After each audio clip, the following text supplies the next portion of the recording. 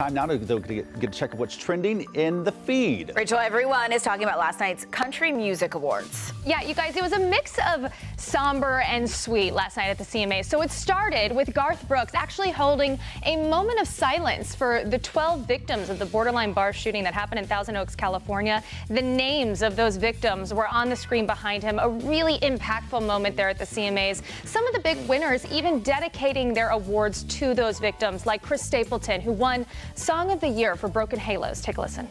I wrote this song with my friend uh, Mike Henderson. We wrote it about people who have uh, gone on, you know, long before their time. And, and uh, you know, I want to.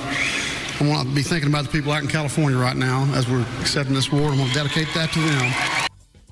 It's always nice to see these stars use their platform to make a statement like that. Now, keep in mind, Chris Stapleton, not only the award he won, he won Male Vocalist of the Year as well. Entertainer of the Year went to Keith Urban. And then the Lady of the Night, kind of Female Vocalist of the Year, Carrie Underwood. Not only did she win that, but she was hosting with Brad Paisley. Had a fun little banter moment on camera where he was desperately trying to get her to admit the gender of her baby underneath that cute little baby bump there. After some serious persuasion, you know, he was saying, is it a Johnny? Is it a June? Is it Waylon and Willie? You know, trying to get her to say something. She finally said, all right, you know what? It's a Willie, admitting that it's a little boy. So that was a cute little moment. Unexpected, too, I'm pretty yeah, sure. She looks Aww. fantastic, too.